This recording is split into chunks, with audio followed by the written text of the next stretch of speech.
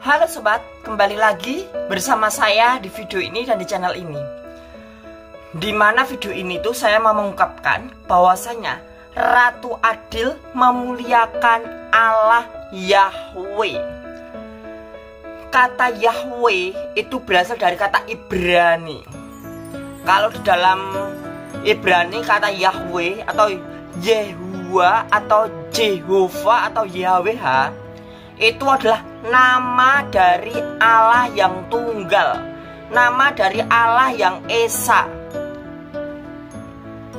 Di mana kali ini saya mau menceritakan bahwasanya Ratu Adil memuliakan Allah Yahweh.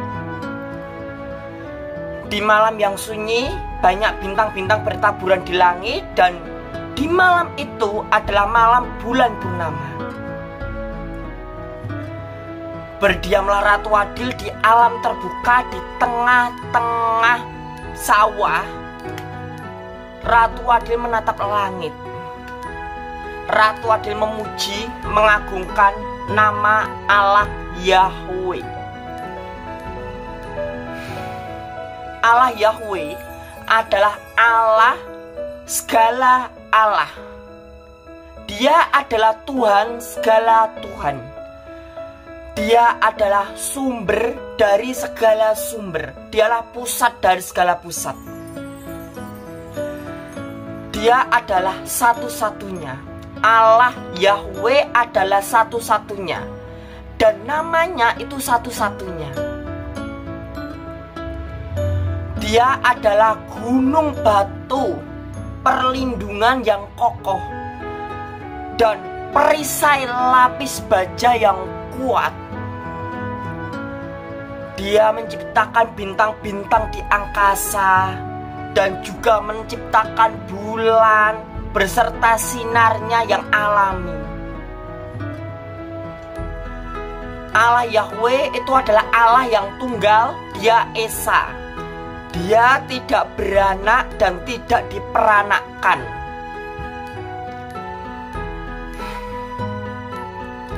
Dari hati Allah Yahweh melalui mulut Allah Yahweh. Allah Yahweh menciptakan Yesus Kristus sebagai ciptaan pertama dan sekaligus kesayangannya. Karena Yesus diciptakan dari roh Allah Yahweh itu sendiri. Yesus berasal dari hati nurani Allah Yahweh itu sendiri yang terucap melalui lisan yang mulia. Yesus tercipta dengan bentuknya secara roh. Dan Yesus adalah gambar dari segala manusia. Seperti apa yang terjadi pada penciptaan manusia, bahwasanya manusia diciptakan seturut gambar Allah. Manusia diciptakan seturut gambar Tuhan, seturut sifat Tuhan. Yang digunakan menciptakan itu adalah Yesus. Karena Allah Yahweh itu adalah zat yang maha luhur. Allah Yahweh itu tidak berwujud. Dia ada dan dia tidak nampak, dia tidak ada. Dan Allah Yahweh menggunakan Yesus untuk menciptakan manusia pertama kalinya. Sehingga terciptalah Nabi Adam. Seperti apa yang jelas tertera dalam Alkitab. Bahwasanya Yesus bersama-sama dengan Allah Yahweh menciptakan manusia. Kenapa manusia memiliki dua mata? Kenapa manusia memiliki dua telinga, dua tangan?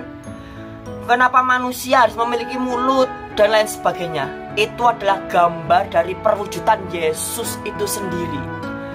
Yesus itu sendiri sebelum dia menjadi perwujudan manusia di alam nyata. Yesus itu adalah roh. Yesus adalah nama roh yang pertama kali diciptakan oleh Allah Yahweh melalui roh Allah itu sendiri.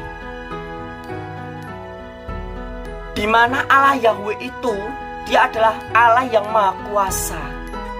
Allah Yahweh adalah nuklir yang maha dahsyat dan tak tertandingi.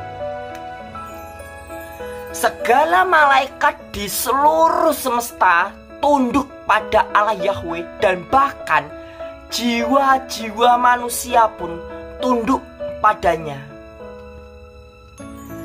Dia lebih mengenal dirimu daripada engkau mengenal dirimu sendiri.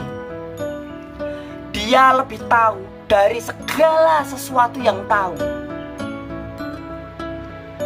Bersama Allah Yahweh ada air mata kehidupan dan pengharapan. Bahkan, bahkan orang yang tidak bersama Allah Yahweh, dia sama saja dengan mati. Karena Allah Yahweh itu adalah sumber kehidupan. Dia adalah sumber pengharapan. Langit semesta dan seisinya itu hanya ada di dalam genggaman Allah Yahweh. Dan bahkan bumi ini sendiri di hadapan Allah Yahweh itu hanya terlihat setitik embun kecil di mata Allah Yahweh.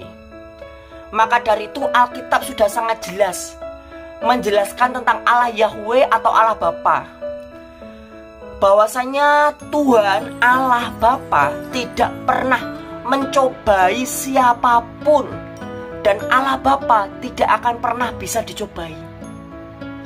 Karena di hadapan Allah Bapa bumi itu bagaikan setitik embun kecil.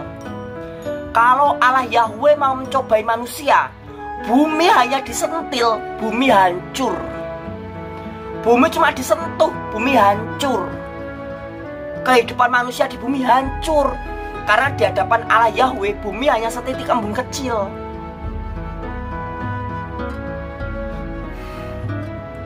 Dan perlu diketahui, bukan karena skillmu, bukan karena kekuatanmu, bukan karena kecerdasan, hikmatmu, bahkan bukan karena kemampuanmu, bukan karena orang tuamu, engkau ada. Tapi semuanya semata-mata karena kebaikan dan kasih Allah Yahweh. Allah Yahweh itu adalah Allah yang maha besar. Dia adalah Allah yang agung. Tidak ada yang setara dengan Allah Yahweh.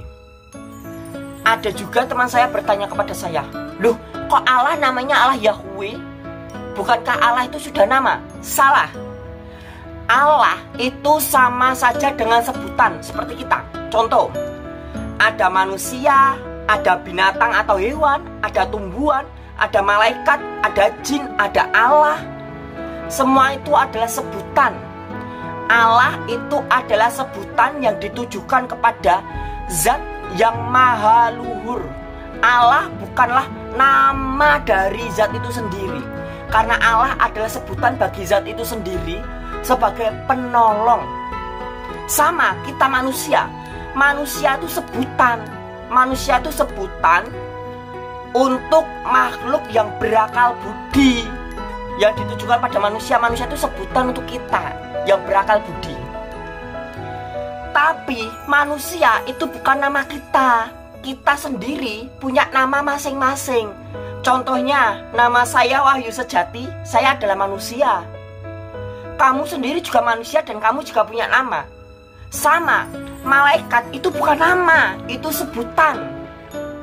Dan setiap malaikat itu juga punya nama. Sama, jin, iblis, setan, mereka itu sebutan.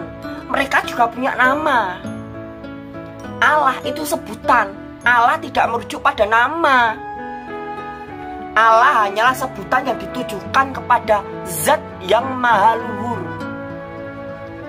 Maka dari itu banyak sekali orang-orang yang salah kaprah mendalami agama bahkan salah kaprah dalam pemahamannya. Mungkin setelah engkau mengetahui video saya, engkau akan mendapatkan ilmu tambahan lagi, mendapatkan pengertian tambahan lagi.